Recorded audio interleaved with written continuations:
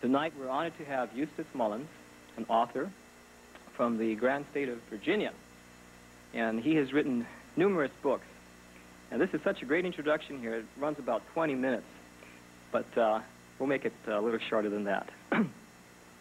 so to introduce Eustace, after 40 years of continuous activity in the American conservative movement, Eustace Mullins has garnered an impressive number of firsts. The first writer to have a book burned in Europe since World War II, the first person to be fired from the staff of the Library of Congress for political reasons, and the first writer to detail the history of our Federal Reserve system. A native Virginian, Eustace Mullins is a direct descendant of William Mullins, who wrote the Mayflower Compact, a governmental code written at the behest of the Mayflower settlers and the first governing code composed in the New World. He served 38 months in the U.S. Army Air Force during World War II, and subsequently studied at Washington and Lee University, Ohio State University, University of North Dakota, New York University, Escuela de Bellas Artes, San Miguel de Allende, Mexico, and the Institute of Contemporary Arts, Washington, D.C. His groundbreaking work was largely the result of a fortuitous circumstance. He became successively the protege of Ezra Pound, the leading literary force of the 20th century, George Stimson, founder of the National Press Club and the most widely quoted journalist in Washington, and H.L. Hunt, the anti-communist entrepreneur. After Ezra Pound's passing, Eustace Mullins founded the Ezra Pound Institute of Civilization, which carries on Pound's important work in literature and economics. And again, I'm very honored to have Eustace here. He's here on vacation, and uh, he granted us the opportunity to speak here, have him speak for us, and share us some incredible insight. He's been on uh, many, many talk shows all over the country, even on national television on the Morton Downey Show. Without further ado, let's just give a warm aloha to Eustace Mullins.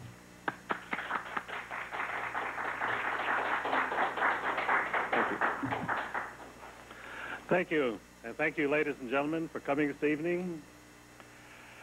My First question I have to ask you is, do you know where your government is tonight?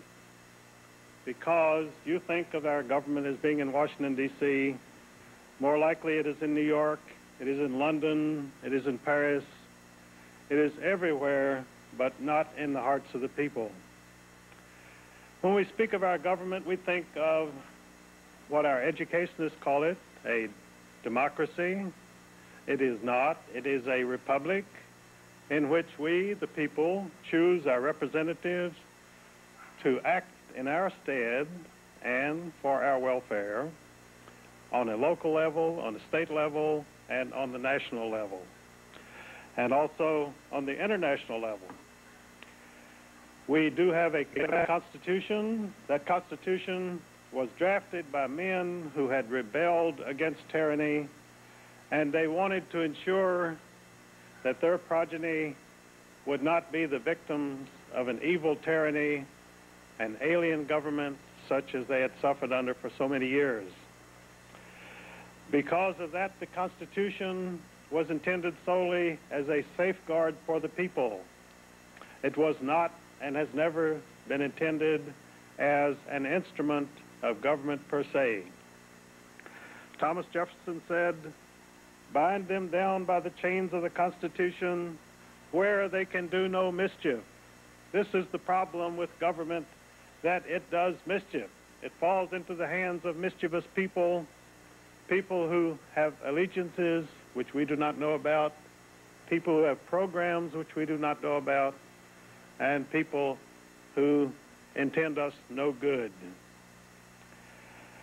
My, my, experience with all this began some 42 years ago when I was asked to go to St. Elizabeth's Hospital to meet a political prisoner who was being held without trial. His name was Ezra Pound. Ezra Pound had three disciples who were awarded the Nobel Prize for Literature. That was James Joyce, T.S. Eliot, and uh, Ernest Hemingway.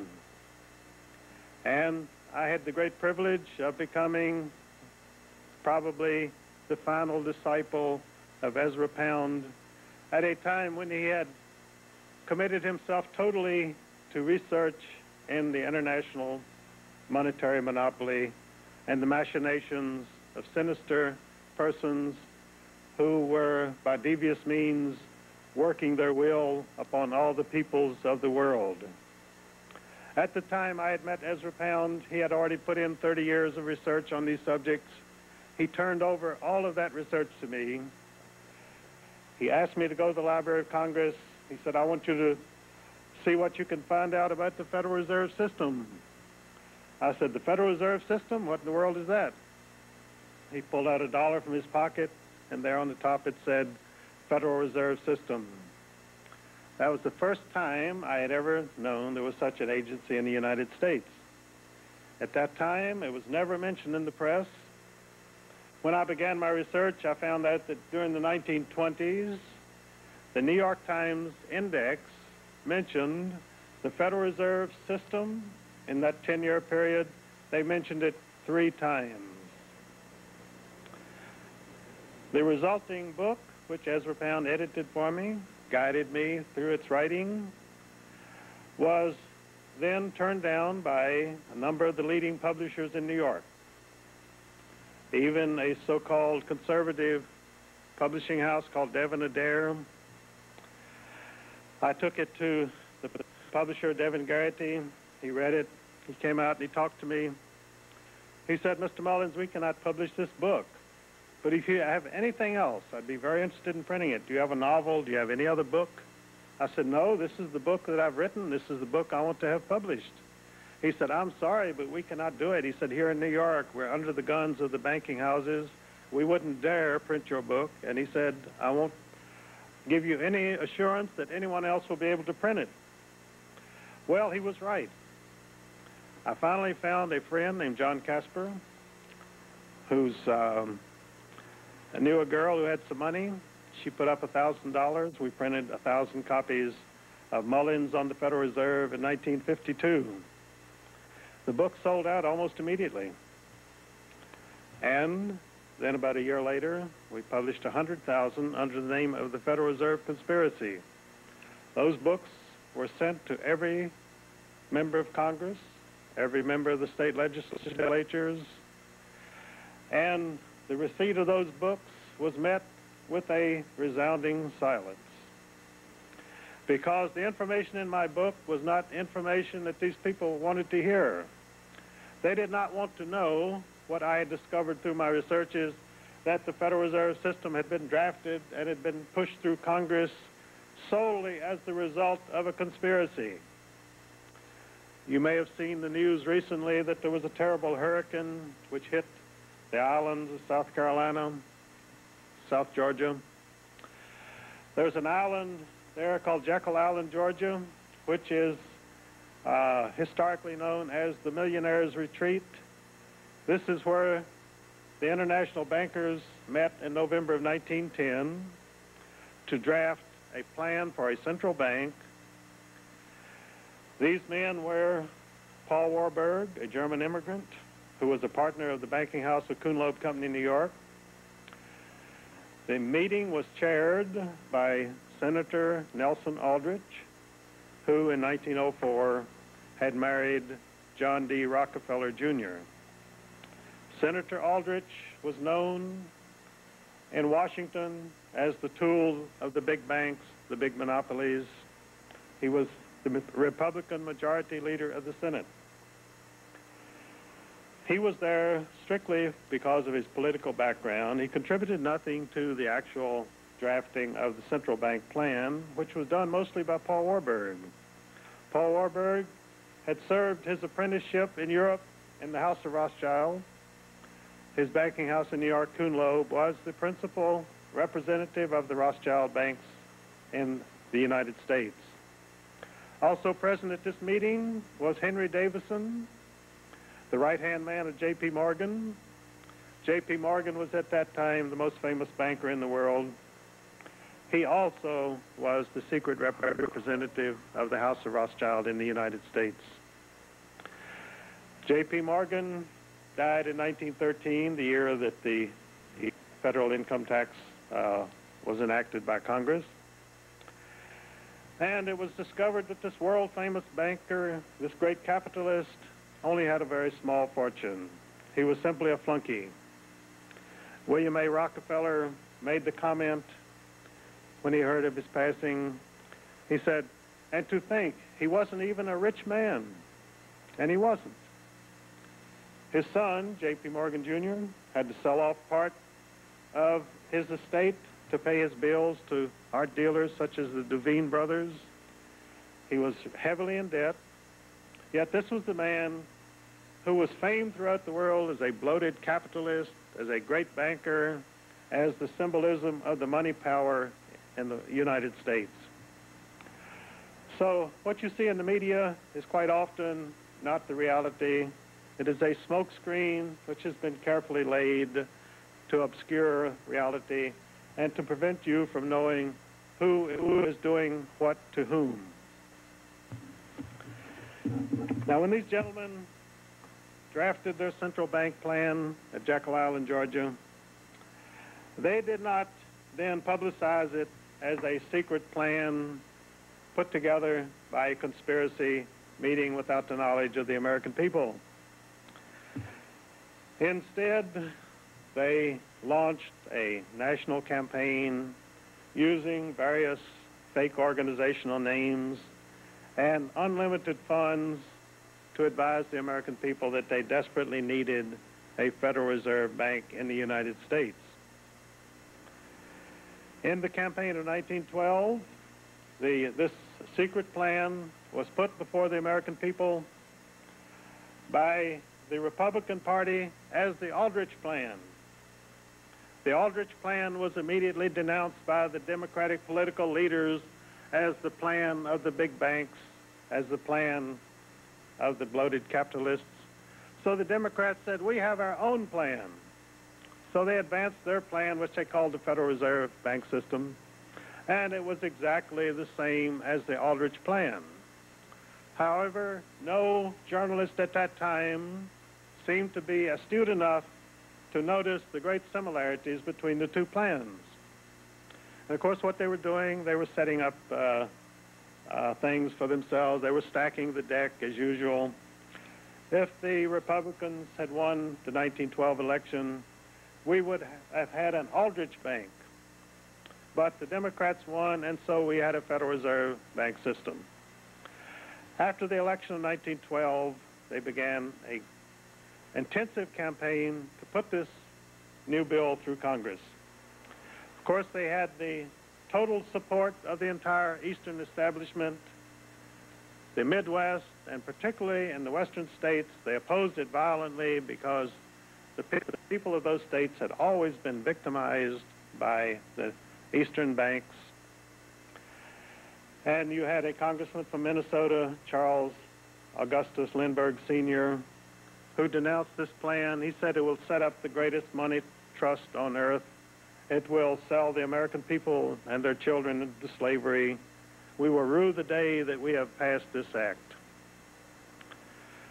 So Charles Lindbergh led the battle against this plan. He did not have the money, he did not have the political support to oppose it. And so it was signed into law on December the 23rd, 1913, by President Woodrow Wilson. Now, the New York Times noted that never before had any bill of such importance to the people been rushed through with such strange maneuverings behind the scene. It was traditional in Congress to adjourn about the 15th of December and for the congressmen to begin the long trek back to their homes in the Midwest and the West. After most of the principal opponents had left, they rushed this thing through on December 23rd.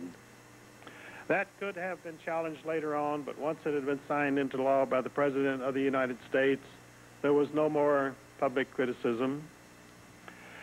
In 1914, they organized the 12 Federal Reserve banks.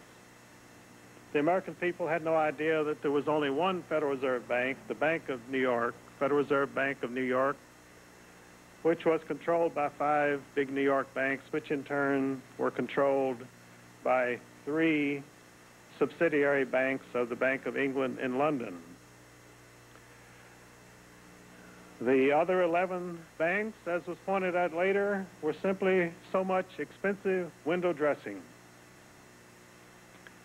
The Federal Reserve Bank of New York has always been the money center bank. The other banks have rubber stamped whatever monetary proposals were advanced by the president of that bank. And he himself simply represented those five banks which held the controlling 53% of stock in that bank. Now, in 1984, I went to the uh, chief administrator of the Federal Reserve Board of Governors, Joseph A. Coyne, in Washington. I just dropped in on him. I stopped at the Federal Reserve building. I said, I'm going to catch this guy. I had ordered from the Federal Reserve Board the original organizational certificates of each of the 12 Federal Reserve banks in 1914, which showed exactly which banks bought how much stock, and those banks exist today, and they own substantially the same amount of stock today. There have been mergers, there have been transfers, but because the Federal Reserve System was set up as a monopoly, they provided in the Federal Reserve Act that the stock could not be bought sold, or traded. Therefore, you have never been able to buy a single share of stock in any Federal Reserve Bank because there is not a stockbroker in the country who can obtain a share for you at any price. This has never been publicized. It's not known by the American people. We are given to understand, and congressmen have been queried by their constituents as to whether the Federal Reserve banks are government banks. The congressmen have usually replied, yes, indeed, they are government banks. When the fact is that the government has never owned a single share of stock in any Federal Reserve Bank. The 12 Federal Reserve banks each issued their own stock. That stock was subscribed to by banks in their district. There were 12 districts. And if that bank happened to go out of business later on, that stock had to be turned back into the Federal Reserve System. There was no way that you could buy a bank which had a voice in the operation of the Federal Reserve System and then give yourself an entree into the manipulation of our money and credit for the benefit of private stockholders. They set up a monopoly and they have maintained that monopoly to this day, again without the knowledge and consent of the American people. When my book was published in 1952, there was no general knowledge of any of these facts. Ezra Pound told me, these, he said, these people have conspired to gain control of the money and the credit of the people of the United States. And that exact, is exactly what they have done. But because over the intervening years, this book has been uh, circulated widely, there have even been three plagiarized editions of it uh, printed and sold in the last 25 years. And therefore, today, almost any time that you pick up a paper, you, on the financial page, you will see some reference to the Federal Reserve System. This was unheard of before 1950 or 1960. I read in the Wall Street Journal a few days ago that a congressman, Congressman Hamilton, had introduced a bill to rip away the veil of secrecy from the meetings of the Federal Reserve Board of Governors. And because he had introduced this bill, the chairman of that board, Alan Greenspan, had invited this congressman to lunch at the Marble Palace on Constitution Avenue, the Federal Reserve Board uh, building. So Congressmen are beginning to get into that building, which has been closed to them for many years. As I said, I walked into that building and I went up to see Joseph Coyne. And his secretary said, Mr. Coyne can only give you a couple of minutes because he has to go to a meeting. I said, that's quite all right. I just wanted to stop by and speak to him for a moment. So I went in, and he seemed a little uneasy. And I found out later that the Federal Reserve Board library for the, a small monetary library for the Board of Governors downstairs, had every copy of the various editions of my books in that library. So they weren't missing any bets. So I uh, asked Joseph Coyne about the voting rights of the various banks who held stock in the Federal Reserve banks. He said, let me assure you that even if a bank has only two shares, that they have the same voting rights as the Chase Bank, which has 15,000 shares.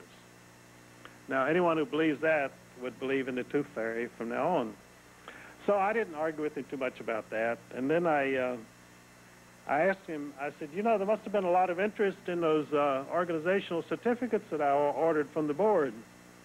He said, you know, since 1914, you're the first person who ever ordered those certificates. So I reprinted them, and I, circulated a few of them. But I didn't bring any with me this evening, but um, they are available, and they're quite interesting reading because this puts you right in on the ground floor. Now let us ask, what has been the effect of the conspiracy of November 1910 and the enactment of the Federal Reserve uh, Act in 1913 by Congress? Well, the dollar of 1913 has exactly one cent of purchasing power in 1989. That is what the conspirators have done for us.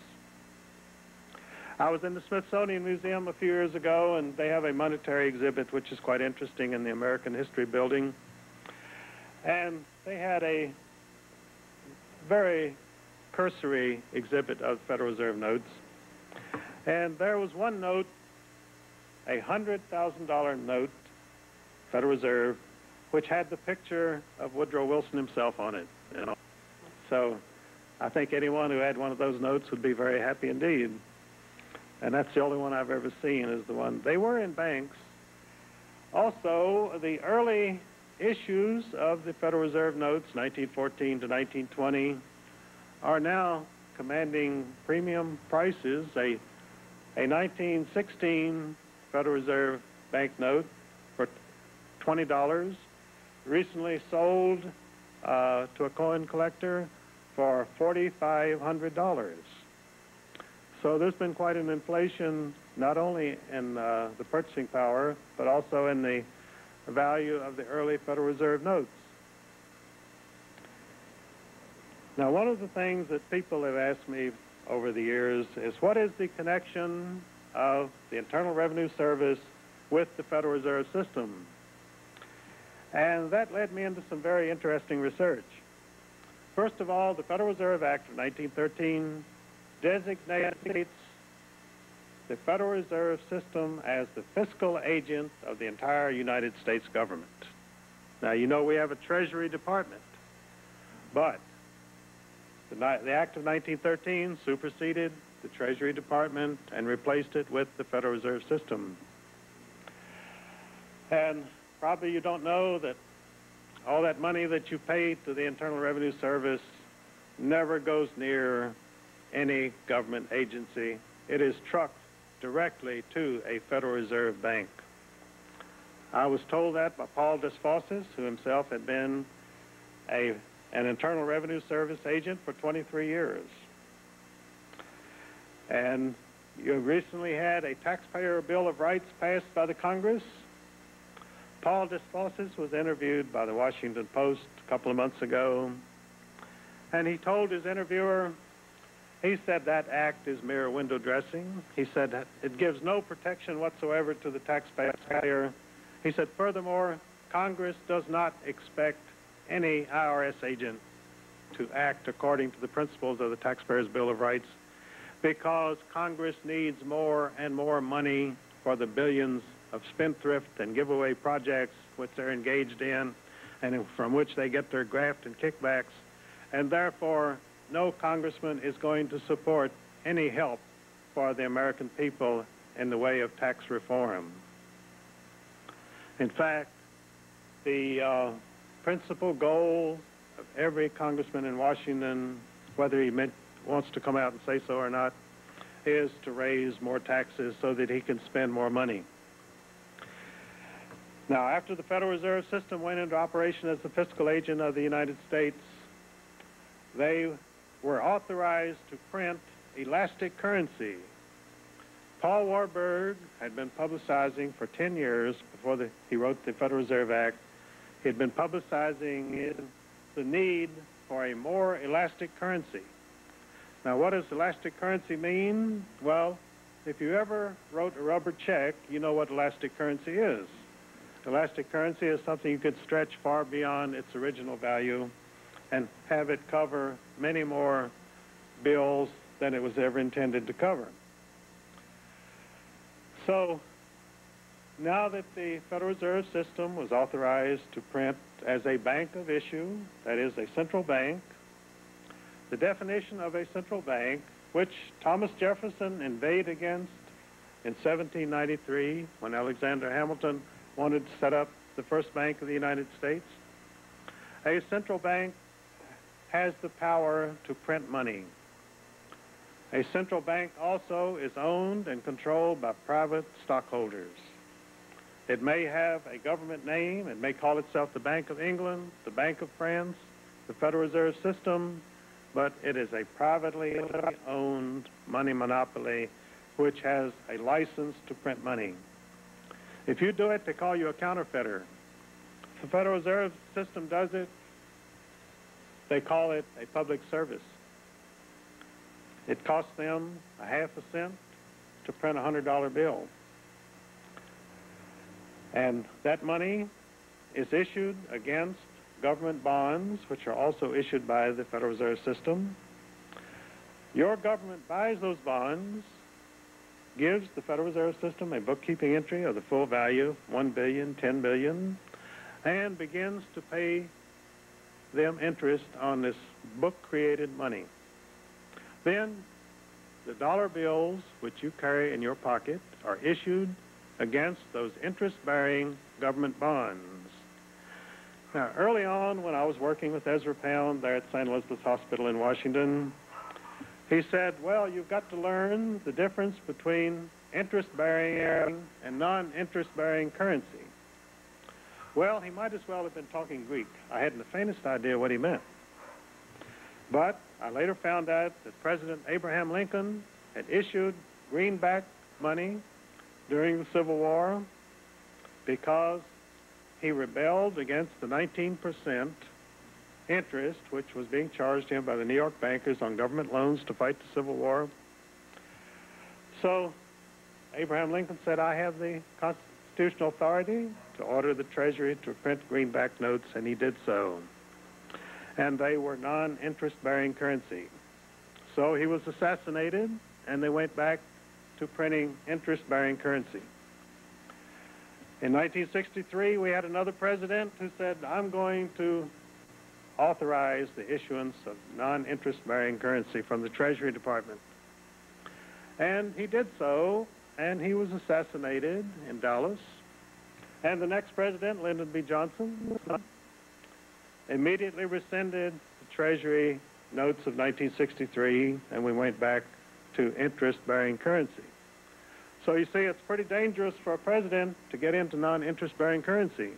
We've lost a couple of presidents that way, and I think if anyone else tried it, we'd lose them too. But the immediate effect of the creation of the Internal Revenue Service was to sop up this enormous outpouring of paper money by the Federal Reserve System. This money was printed, and it was issued in, in, various forms to the people as wages, salaries, interest, so forth. But they had to constantly keep a tight control over it so that it wouldn't get out of hand, so that you would not have a runaway inflation such as you had in France uh, uh, during the Revolution, and you had the inflation of the continental currency after the American Revolution, and you had the inflation of the German mark in 1923 in Germany. So the function of the Internal Revenue Service, it's sort of like a garbage service to go around and sop up the excess money and keep the whole money-making system from getting out of hand. And that's what the Internal Revenue Service does. And that's why they are so in, uh, in, in um, so cruel to the American people because they cannot give an inch. They have to get that money away from you and get it back so that the entire monetary system will not collapse. I take this up in my new book, uh, The Rape of Justice. I have two chapters on taxation.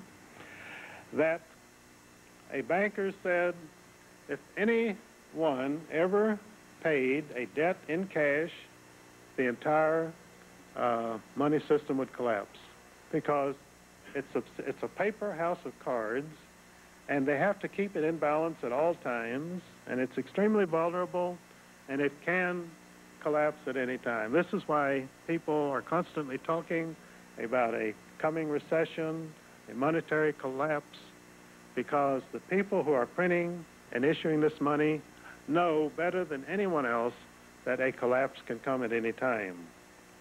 So people frequently ask me, well, when is the collapse coming? And um, it's sort of like asking, when is the next hurricane going to hit the coast of South Carolina? Because it, it is definitely going to come, and when it comes, there will be devastation. Now, we have had, in the past 50 years, we have seen the Democratic Party of the United States taken over by the Stalinist wing of the Communist Party. It has been later opposed by the Trotskyites, who call themselves anti-communist. Many people believe that the Republican Party, which came into power in 1980, is a strongly anti-communist party. That is a misconception because it is actually an anti-Stalinist party, and it is committed to battling to the death the Stalinist wing of the Communist Party, which is enthroned in the Democratic Party of the United States. How did this come about? In 1933, Franklin Delano Roosevelt became president with the support of Bella Moskowitz of New York, who was one of the chief organizers of the Communist Party and a lifelong Stalinist. She was the one who inducted atom spy Julius Rosenberg into the Communist Party. So when Roosevelt came into power, he had a secret communist cell called the Harold Ware Cell, which composed the leading bureaucrats in the uh, Roosevelt administration. These men were all hardcore Stalinists. Well, in uh, Russia, during the 1920s, you had a split between the factions of the Communist Party. You had the Stalinist Party, which wanted socialism in one country, and you had the Trotskyite wing, which wanted continued worldwide revolution until communism had become the governing force in every country in the world. So Stalin, as a practical Marxist uh, materialist, believed it was better to establish socialism in Russia and set an example for other countries. Trotsky insisted that we must have worldwide revolution at once so the Stalinist wing of the party ousted Leon Trotsky, and because he continued to be a divisive force in the face of the uh, World War II, Stalin had him murdered in Mexico City in 1940. This gave the Trotskyites a martyr. They were headquartered in New York City under the name of the League for Industrial Democracy, which was a Rockefeller financed organization. Now, when Ronald Reagan came to Washington in 1980, he came in as a hardline anti-communist, and his whole cabinet and his staff were supposed to be hardline anti-communists. Who were these anti-communists? They were from the League for Industrial Democracy. They came from the Hoover Institution and Stanford, Stanford University in California. 86% um, of, Rose, of uh, Reagan's transition team in Washington in 1980 was recruited directly at the Hoover Institution, which had been set up by Herbert Hoover, a Rothschild agent, after World War I to obscure the causes of World War I. So they have an immense depository of sealed records there at the Hoover Institution. most of which are not available to scholars. Many of them are sealed for many years to come, but they achieved their purpose. So, Ronald Reagan, coming from California, recruited his staff at the Hoover Institution, which was run by two lifelong socialists, Sidney Hook and Seymour Martin Lipset, both of whom were directors of the Trotskyite League for Industrial Democracy. Now, we had another prominent member of the board of League for Industrial Democracy, a lady who became famous world over as a hardline anti-communist at the United Nations. That was Jeane Kirkpatrick, U.S. Ambassador to the United Nations. She continually baited and railed at the Soviets throughout her stay in, in uh, New York at the United Nations. But she was doing it as a director of the League for Industrial Democracy, not for the government of the United States. Jeane Kirkpatrick has a, quite an interesting background. She is the wife of Evron Kirkpatrick. I'm sure you never heard of him. He's one of those faceless bureaucrats who has guided the destiny of this country for many years in Washington. When Harry Truman disbanded the Office of Strategic Services after World War II, he was a practical man. He said, World War II is over. We don't need an international espionage agent now, so we'll just disband it. So the spooks, as they were called, they didn't want to lose their jobs. So they herded themselves over to the State Department to bide their time until they could reorganize. And while they were at the State Department, they were under the leadership of Evron Kirkpatrick. He was the head of our espionage service during its period of dormancy until they reorganized it as the Central Intelligence Agency under Allen Dulles.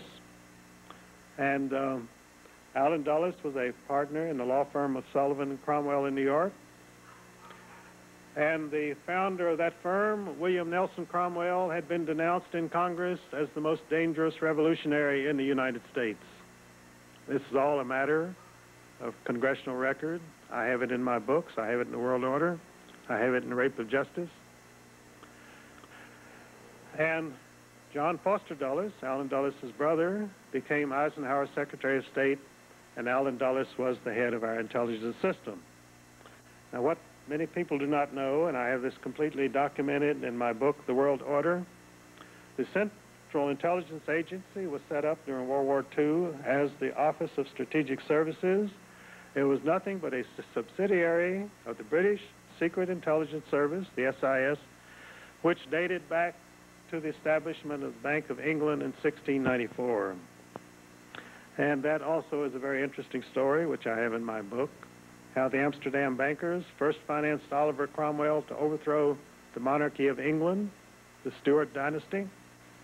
He did so, but he wasn't. A, he died without uh, an heir, and the Stuarts came back briefly. So then, the bankers financed William of Orange, and he came over and became King William III, William, William and his wife, Queen Mary. And one of the first things that he did was to charter the Bank of England. Soon after, the uh, Bank of England set up the Secret Intelligence Service, which has persisted to the present day. The aristocrats who bought the original stock in the Bank of England made their fortune in the slave trade. When the worldwide opposition to the slave trade began to voice itself early in the 19th century. They found an even more profitable business in the international drug trade. When the Emperor of China objected to the East India Company, which was a subsidiary of the Bank of England, when this emperor resisted the debauching of his people by the East India Company and their opium imports, the British fought three opium wars against the people of China and subdued the emperor and continued their drug business. One of the greatest drug merchants of that period was an American named Warren Delano. And Warren Delano's daughter became the mother of Franklin Delano Roosevelt. And when Franklin Delano Roosevelt uh, became president, he named his uncle, Frederick Delano, as the president of the Federal Reserve Bank of Richmond, Virginia. But previously, Frederick Delano had been named to the original board of the Federal Reserve Board of Governors in 1914. So you had a very close link between Drug Incorporated, the worldwide drug business, and the Federal Reserve System.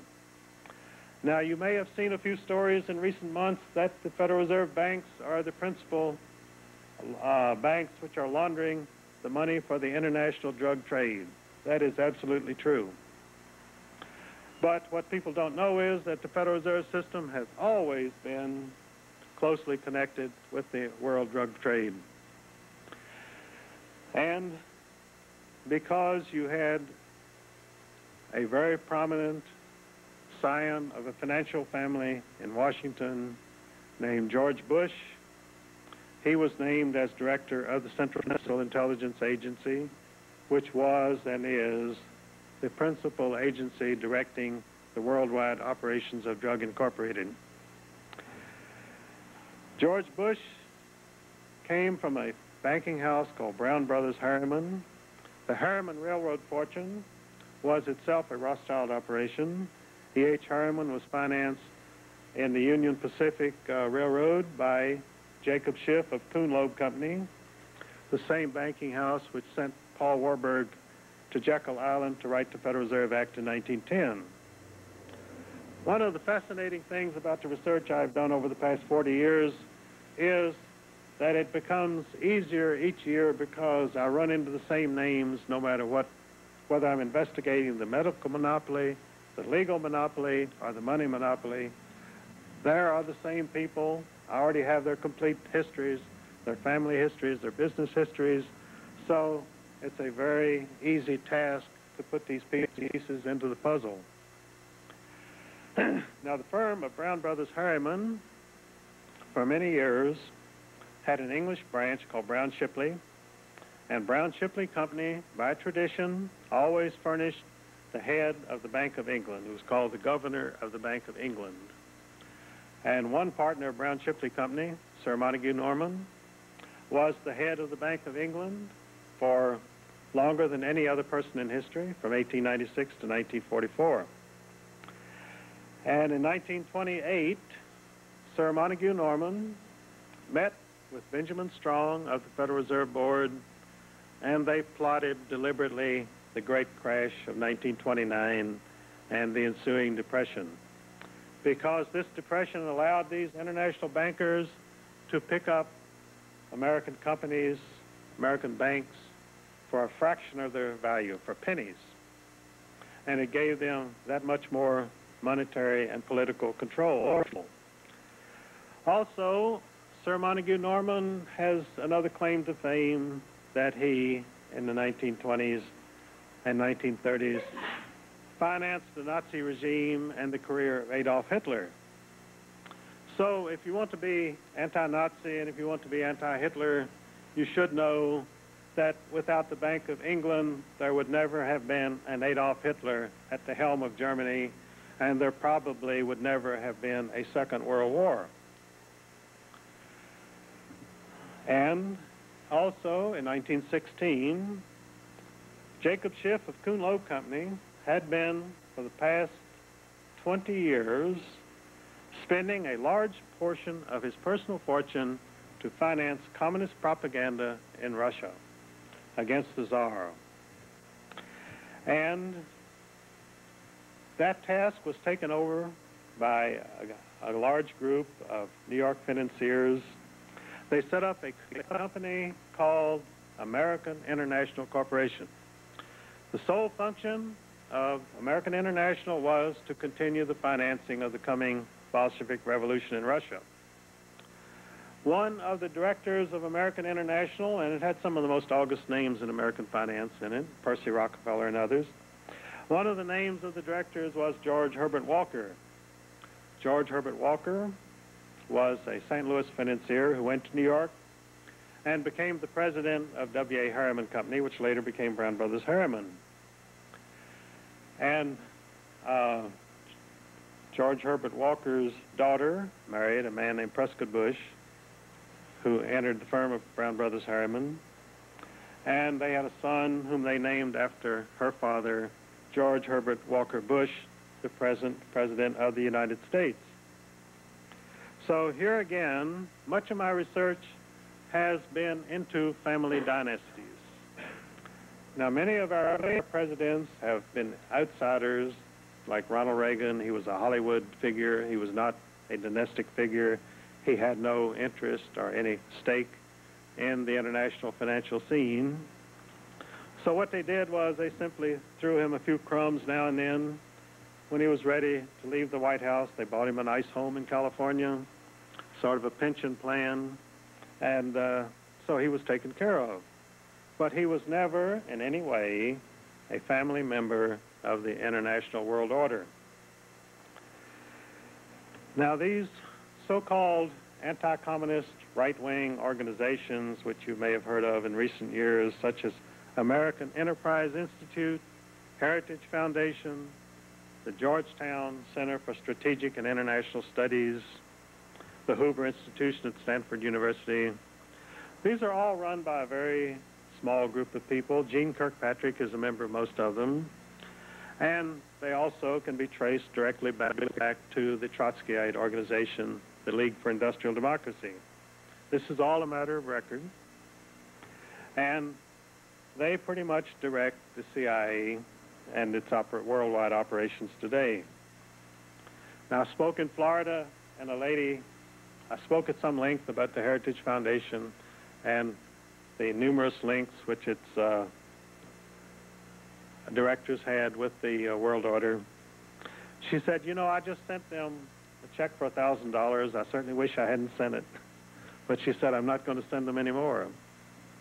And if any of you are supporting any of these fake right-wing organizations, I urge you to look around, find out what your money is being spent for, find out what their program is, find out what Jeane Kirkpatrick is up to, because she was known during her years in New York, she was known as Miss Israel because she defended every atrocity committed by the state of Israel against Palestinian women and children.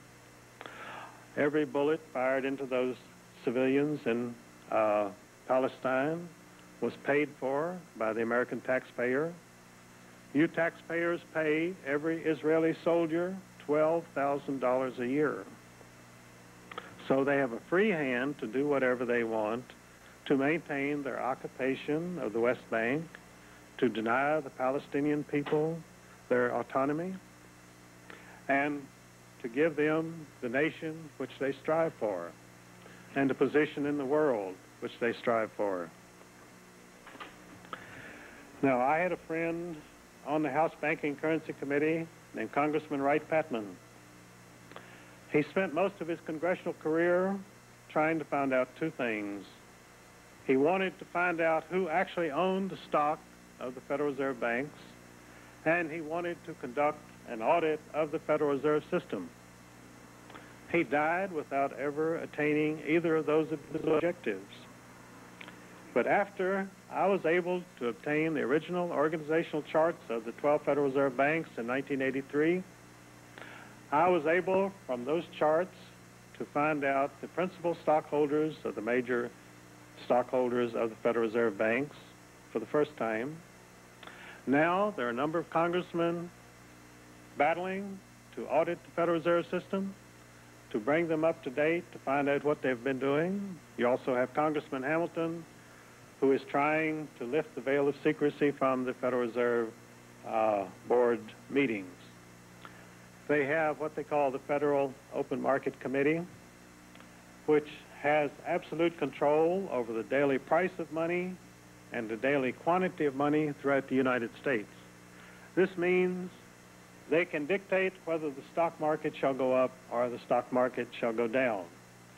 Now, to have that information ahead of time is worth millions of dollars to anybody. anybody. So this is why they say they must operate in absolute secrecy. But these same governors of the Federal Reserve System are appointed by these, by these banks, and you can be pretty certain that the chief stockholders of those banks have some idea of which way things are going to go. They have some way of making their wishes known to the Board of Governors. When Paul Volcker was named chairman of the Federal Reserve Board of Governors in, uh, by President Jimmy Carter, the New York Times stated that uh, Volcker had been actually chosen by David Rockefeller and by Robert Roosa.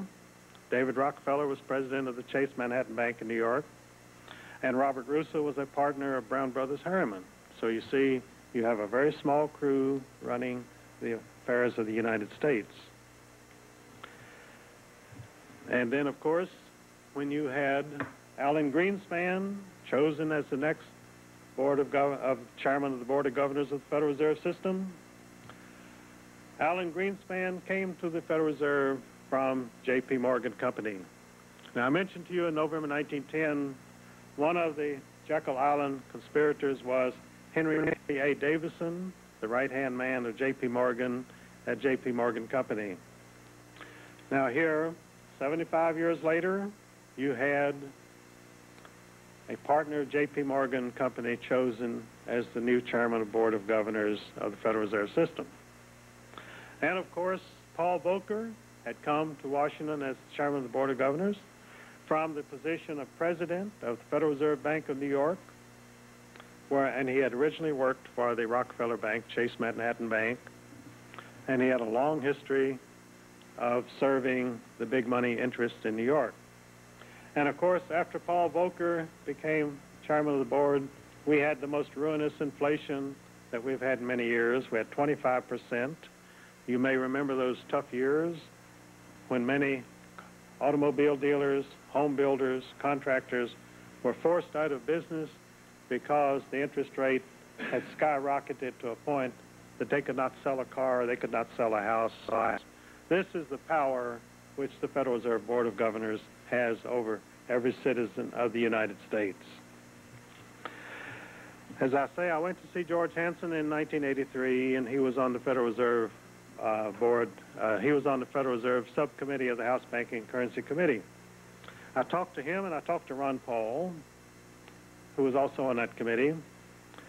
They were both subsequently defeated in their reelection bids for Congress. George Hansen was not only defeated for Congress by the active intervention of IRS agents in his home state of Idaho. They went to every contributor uh, in his campaign, and they threatened them with audits, and they put pressure on them, and George Hansen wound up being defeated. They also put him in prison because they had passed an ethics bill in Congress which set up certain bookkeeping regulations which a congressman were supposed to follow. It was so complicated, no congressman knew how to do it. George Hansen sought help from other congressmen and from lawyers, and he filled it out to the best of his ability. Later on, they singled out George Hansen, no other congressman, and said that he had not filled it out correctly, therefore he was in violation. He was sent to prison. He was paroled, and I was on the podium with George Hansen a number of times. We spoke in Dallas, and at that meeting, the agents were there to pick him up and return him for violation of parole. But he and I went out to lunch out a side door, and they missed us. So the next day, they arrested him while he was speaking at a religious meeting at Omaha, Nebraska. They flew him to uh, Washington. They put him in prison under an assumed name so that no one knew where he was. He had his hands manacled behind his back at all times, and George was a heavy-set man, about 260 pounds. Then they took him down to Petersburg Federal Prison in Virginia to serve out the rest of his sentence. The treatment meted out to him was so brutal that 268 congressmen signed a petition to the President of the United States to ameliorate his conditions, or even to grant him parole. Hundreds of thousands of letters and telegrams were sent to the White House asking for clemency for George Hansen. That was totally ignored because George Hansen had to be gotten rid of because he told me he was in line to become the next chairman of the House Banking and Currency Committee. In that position, he would have had absolute authority over the Federal Reserve Board of Governors. They were determined they were not going to let George Hansen be reelected. They were going to get him out of Congress. They did get him out of Congress. He's out of Congress today. He served every day of his sentence without parole, as though he had been the most hardened criminal in the United States. This was a man who had never offended anybody, had never gotten even a parking ticket.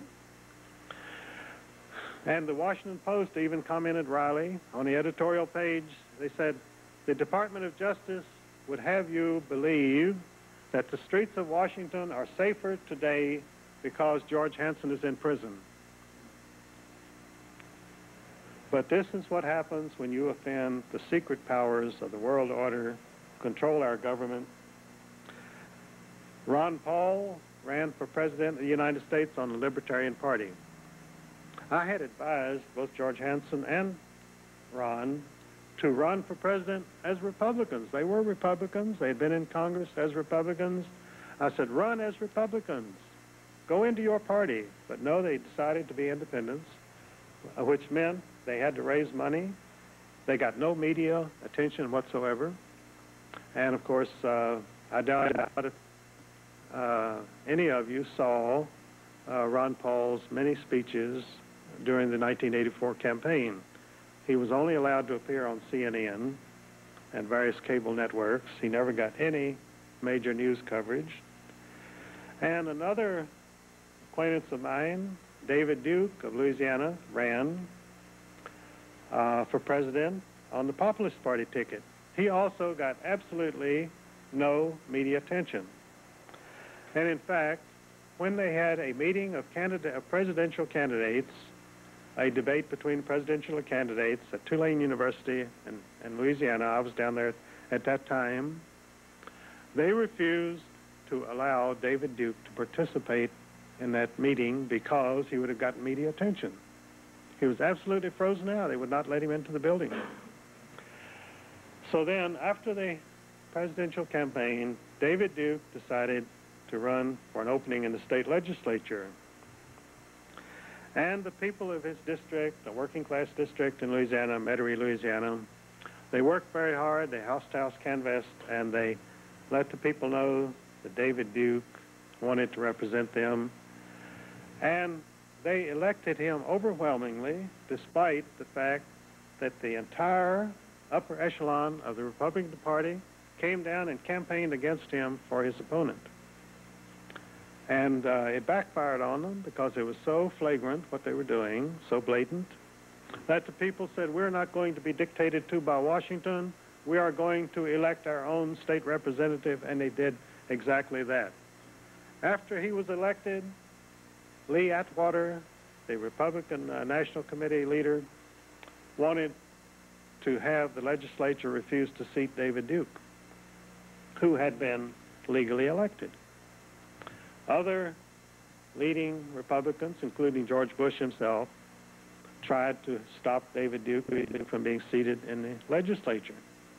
They couldn't do it. They were defeated.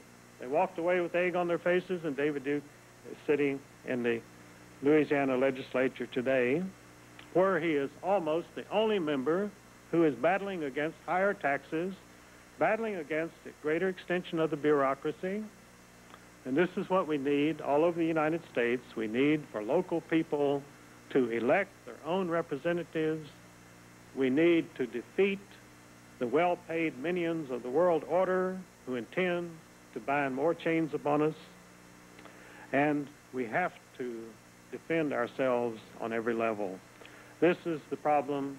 This is what the Constitution wanted us to do. They set up the safeguards. It is up to us to live by those safeguards and to defend our nation and our Constitution. Thank you.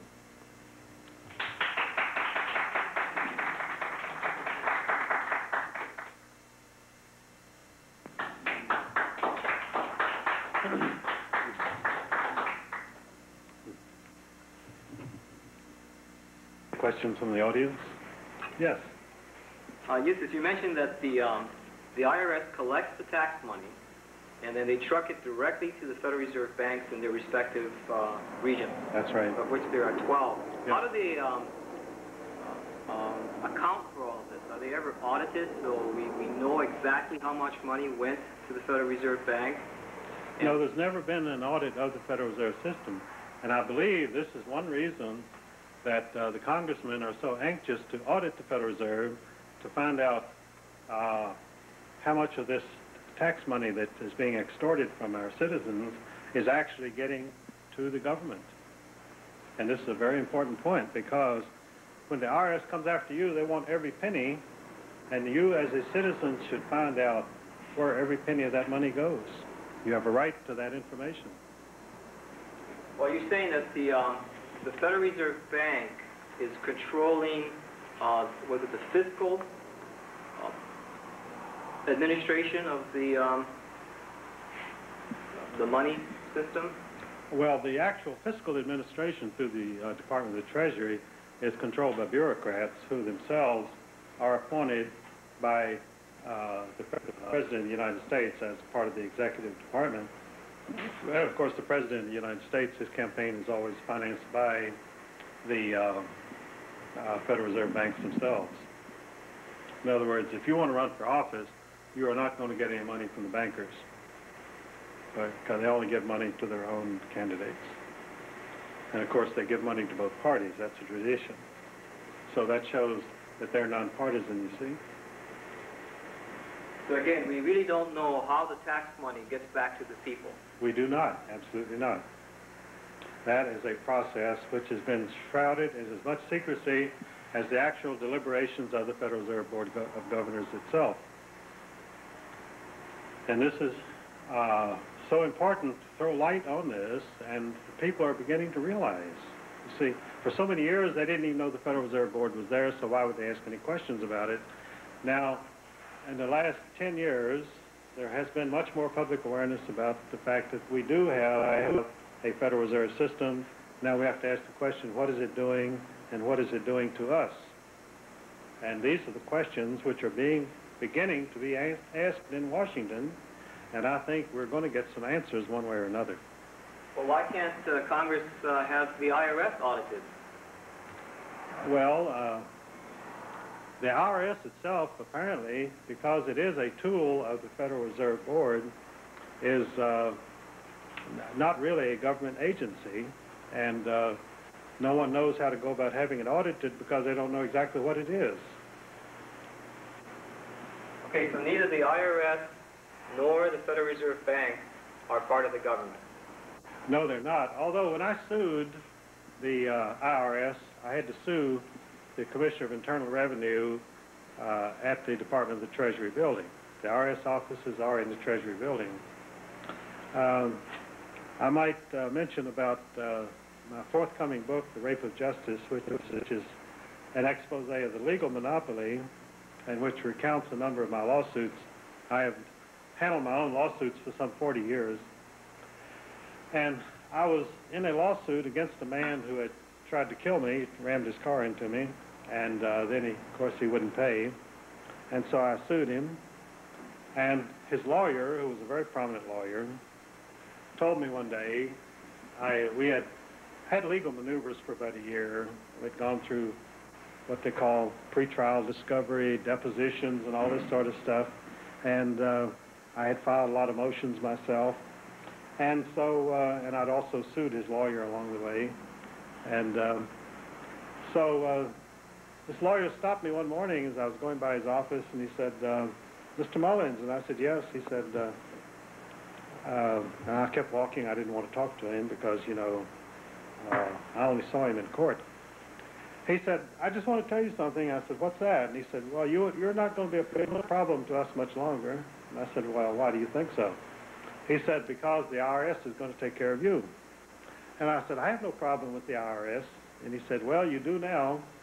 So the next day I got a letter summoning me for an audit.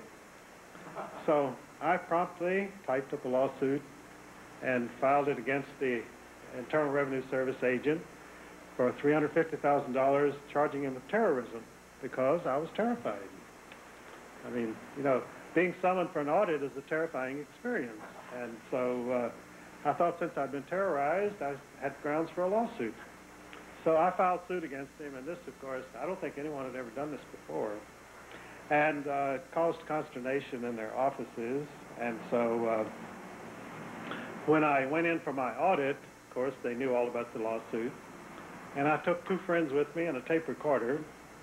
And I'm not very mechanical, and I didn't know how to work the tape recorder, so I set it on the desk, and I kept trying to turn it on. I didn't know how to turn it on, so, so anyway, the agent was just staring at the tape recorder. He wouldn't look at me. He kept staring at the tape recorder as though it were a bomb or something. And uh, so these two friends began to argue with him. I uh, sat back and let them, uh, he said, who are these people? And I said, they're citizens of the United States. He said, well, why are they here? He said, I summoned you.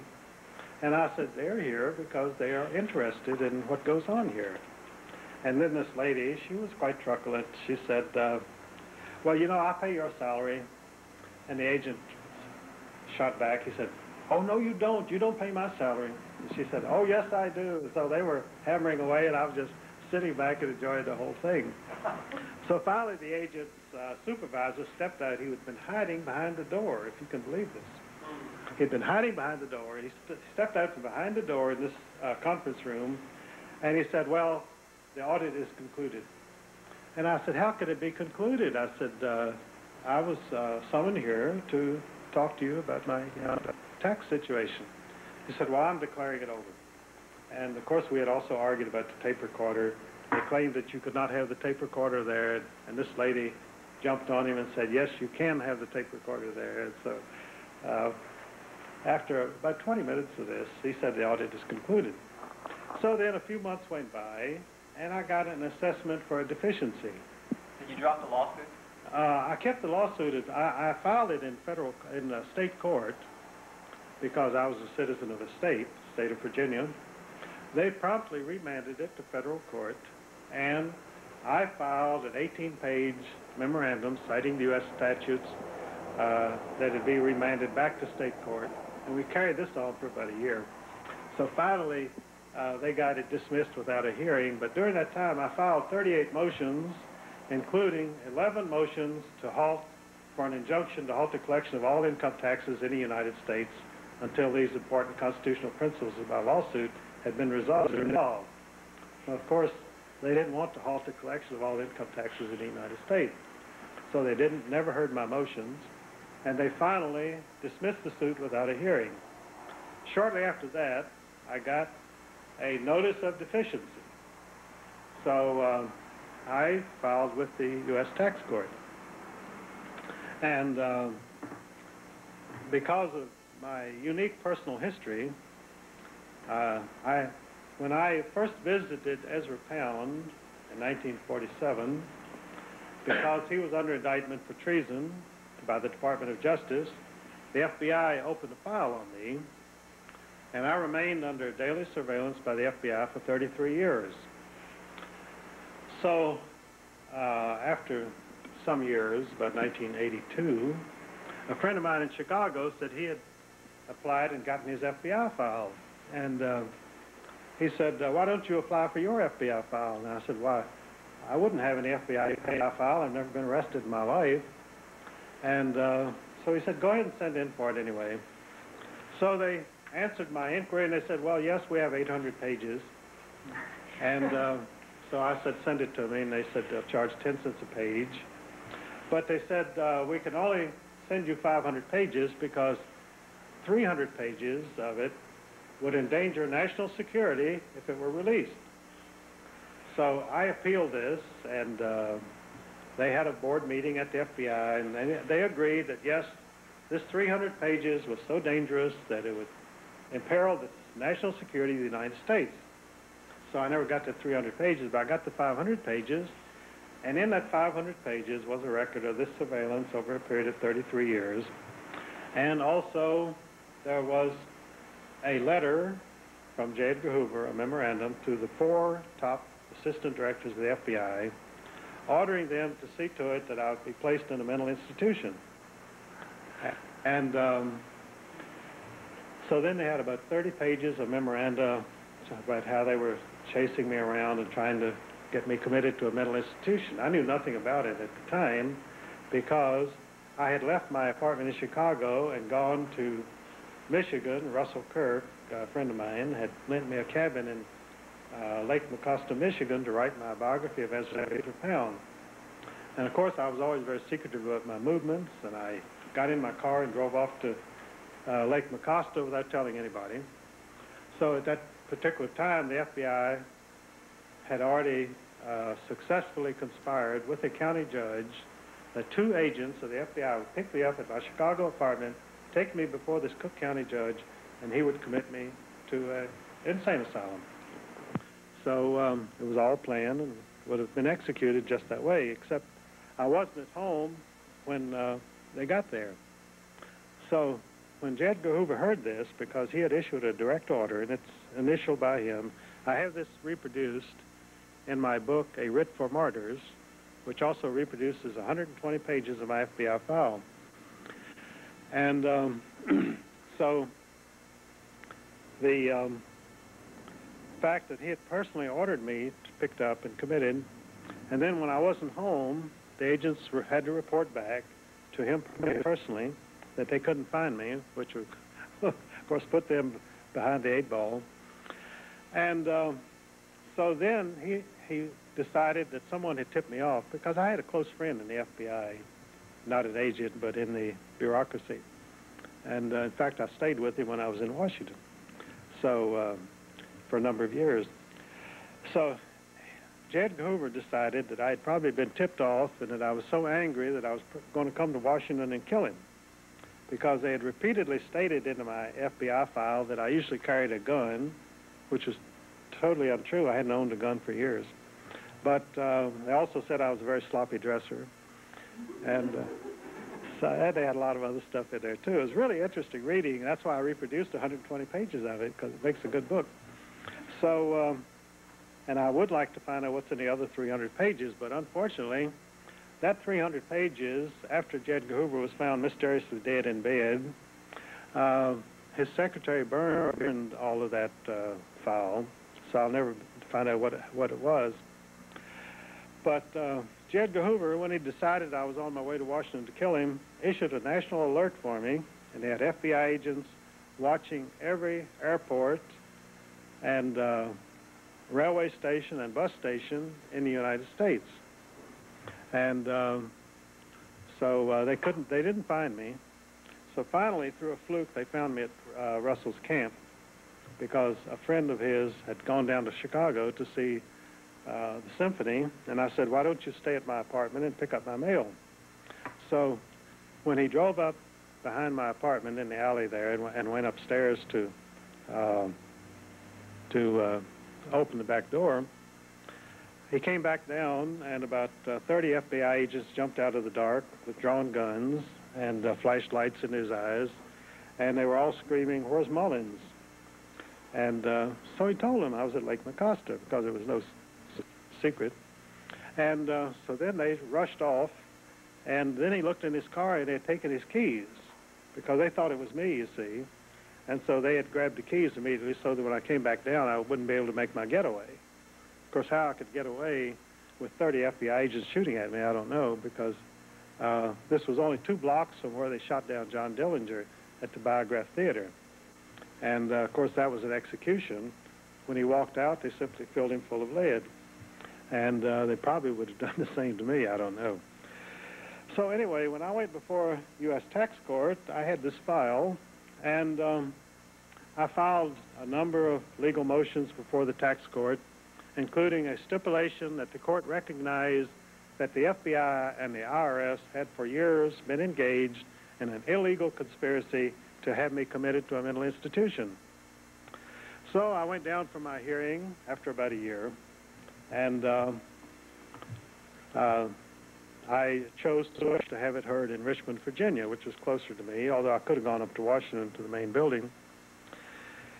So when my case was called Mullins versus Commissioner, I stood up and I said, Your Honor, I, uh, I have some stipulations before the court, and I hope we'll be able to uh, uh, hear those today. And the judge shot back at me. Said, Mr. Mullins, the court is not going to have time to go into all that. He said, uh, what I want you to do is go in with the U.S. attorney into this conference room and you all thrash this thing out. So they weren't going to hear any of our motions because naturally they did not want a court record of a conspiracy between the FBI and the IRS to have me put in a mental institution. So um, I went in with this young, and the IRS, by the way, did not have any representative there. Here I was suing, I was suing the Commissioner of Internal Revenue, and they sent down a U.S. attorney, not an IRS attorney at all.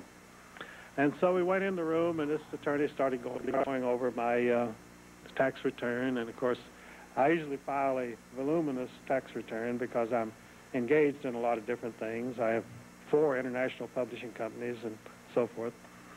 So uh, he started disallowing a few things, and then he allowed some other things, and uh, it wound up that um, I had no deficiency.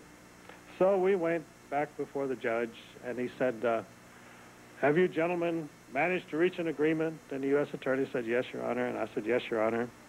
So I walked out of that courtroom with a letter from the U.S. tax court that I had no tax deficiency. And, that's, and that was in 1982. I've never heard from him again to this day. But, uh, you know, I, I tell friends of mine, I don't understand. Why don't they call? but because uh, I have some other theories. I have two chapters in my new book, uh, The Rape of Justice, on taxation. And I... Uh, I have some uh, legal theories there which I would like to, to test in court. But as I say, uh, I don't hear from them, so I have no way of getting in touch with them, really. The IRS seems to have vanished. How do you know that the uh, FBI has closed your file? Oh, they haven't closed my file. They claim they have. They never closed the file. Uh, I imagine that they um, are um, still keeping pretty uh, good track of me because, you know, I get out a book every year and I usually manage to get a few flattering references to them in there. And uh, in fact, in my biography of Ezra Pound, I had a couple of paragraphs about the uh, FBI. And uh, I found this was published in 1961. This difficult individual, Ezra Pound, which is the only authorized biography of Ezra Pound, he commissioned me to write it.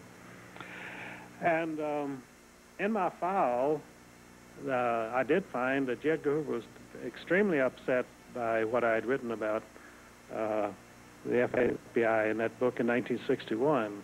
He, and uh, I think he wanted to have its uh, circulation stopped. And it, it, sold very few copies. Well, it was remaindered almost immediately. It was published by a New York publishing company called Fleet Publishing Company, which a few months after they published my book, they went out of business. And uh, I'm afraid I've been a bad influence on the American economy in my uh, career because I've put publishing companies out of business. Newspapers that have published my articles have been closed down. I've had five radio talk hosts who have lost their shows after I appeared on them. And I appeared on Morton Downey uh, two weeks before his show was canceled. So uh, I've got a very bad record as far as it comes to helping out people. But uh, generally, I, I do about uh, 30 radio shows a year.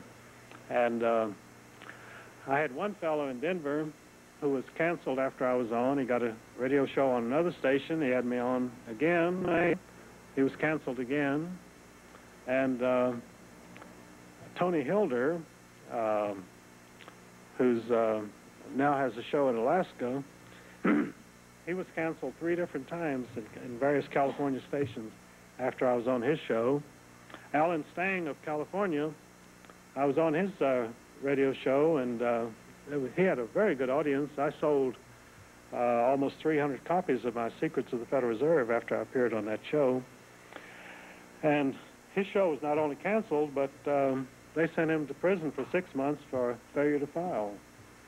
And uh, so he he came under a lot of pressure, but uh, you have to expect this because they will go after anybody that they can. They will intimidate anybody they can. They operate completely outside the law. Uh, for years, the FBI did black bag jobs. And um, I would come into my uh, uh, office at my home after being out for a couple hours. All my papers would be in disarray and whatever I'd been working on. I'd have to dig for it for two hours to find it, and this happened many times. And in fact, uh, uh, they they had a story in the Washington Post about one man who who said that he had carried out over 85 black bag jobs, that is burglary robberies, for the FBI during his career. And um, these are people who are themselves outlaws. In the world order, I cite U.S. statutes on criminal syndicalism, and uh, these people are liable under the statutes on criminal syndicalism, and I give those statutes, and uh, they can be arrested anywhere in the United States on the basis of those statutes alone. Plus, there are many other statutes which they're in violation of. so, um, and uh, yes, So at this point in time, you're um, choosing to pay taxes. pardon? Are you a taxpayer yourself at this point? Well, I always say I pay anything I owe. If they can prove I owe something, I'll pay it. So you do file with the IRS. I file, yes. I file, and uh, if they want an audit, uh, they can have an audit. And if they want uh, to assess a deficiency, I'll go back in the tax court because there were a lot of things we didn't cover the last time I was there.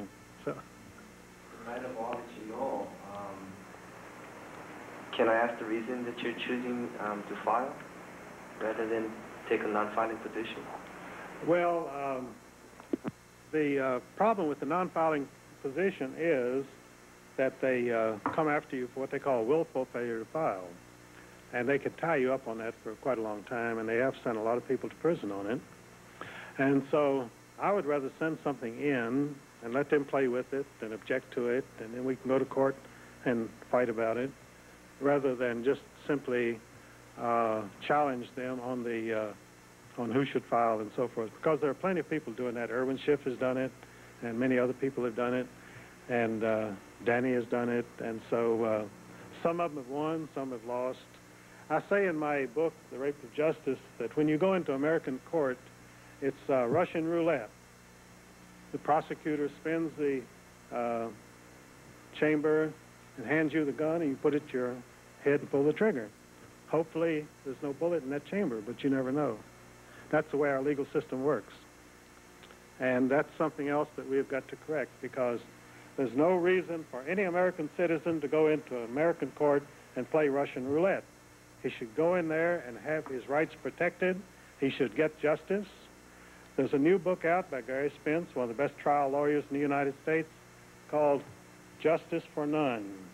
In the first sentence of that book, he says, There is no justice in any American court for the people. And this is a man who knows. I've uh, been in the courts for 40 years. I know it.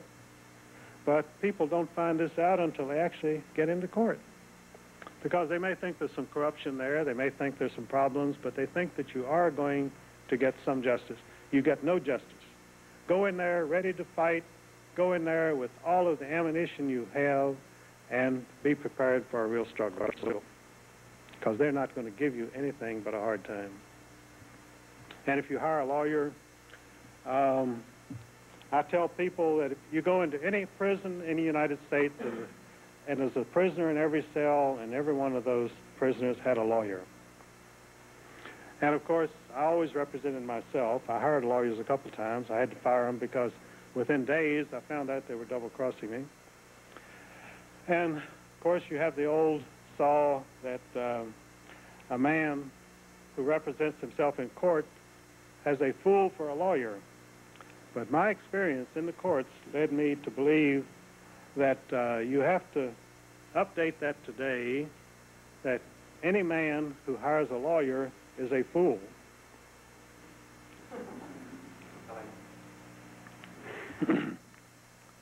Any more questions? Yes. You made a reference to alien influence. Uh-huh. Was that on the Federal Reserve System or on the government, or what did you mean by that? Uh, well, that's on everything because the American um, government today is a paper tiger. It's it's run by various international agencies, and uh, Of course, you have your congressmen, and you have your Supreme Court, and you have your president and his cabinet in Washington, but they're all put there by somebody else. They were not put there by the American people. They were put there by people who put up the money for their campaigns for various reasons of their own. And they are, they're not answerable to you. They're only answerable to the people who hold their notes. And this is the problem. And um, most, on most issues of national policy, uh, surveys have shown that the American people oppose 85% of the present policies of the American government. So we're being run by a small minority. Yes. So, so what are the solutions? What are the things that we can do as individuals to help, you know, solve the problem with the banking system and also in light of the inflation? You mentioned earlier that the American paper dollar is worth only one cent from its original value. Um, what can we do to protect ourselves against uh, inflation?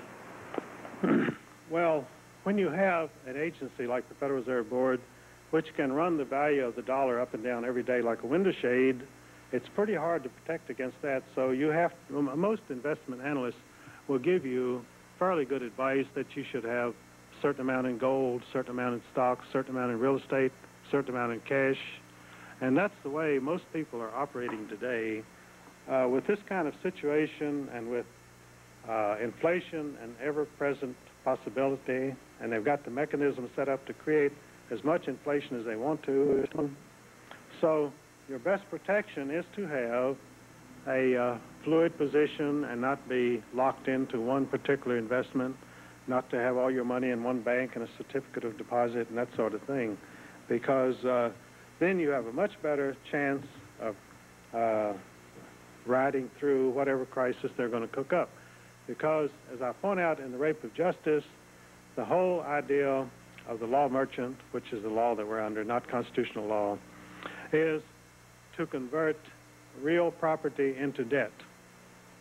Our legal system, our medical monopoly, our monetary system are all designed to rob you of whatever real wealth you have and to put it into the hands of international bankers.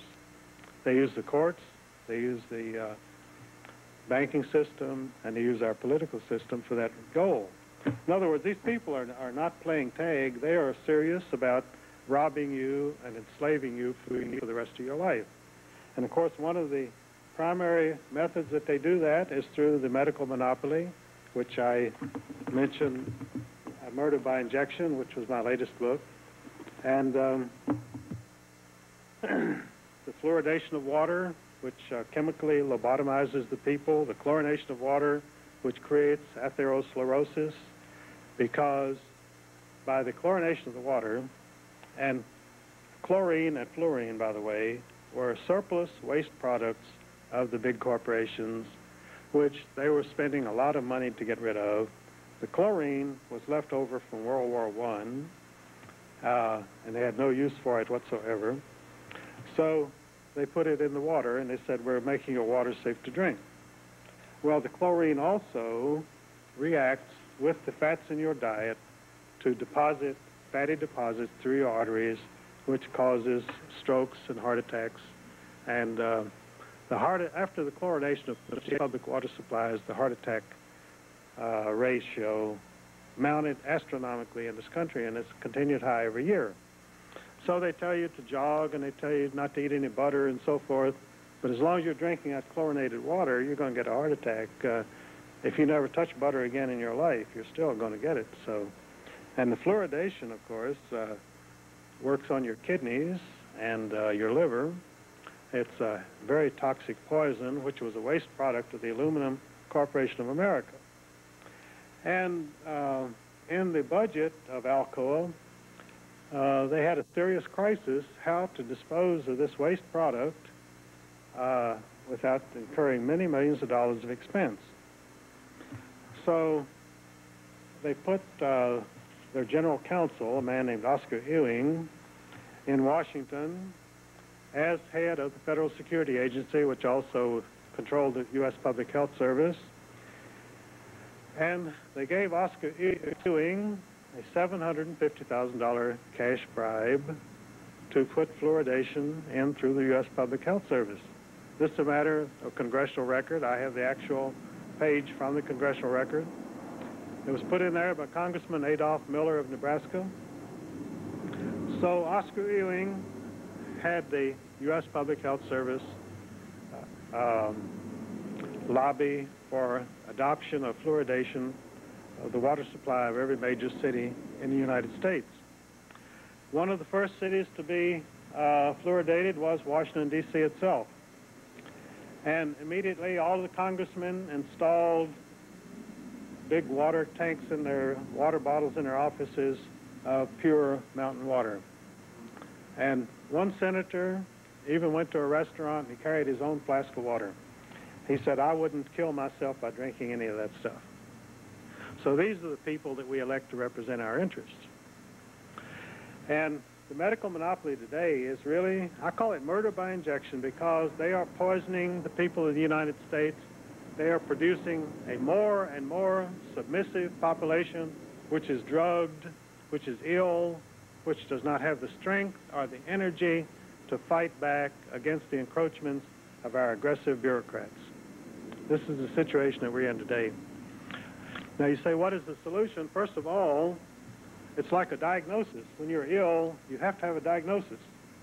You have to diagnose what is going on today, and then you have to decide what kind of treatment you need to save your life, and you've got to get busy on that treatment. So that's where we are today. Well, I think that, uh, thank you very much for your attention, and I've enjoyed being with you this evening. Thank you very much.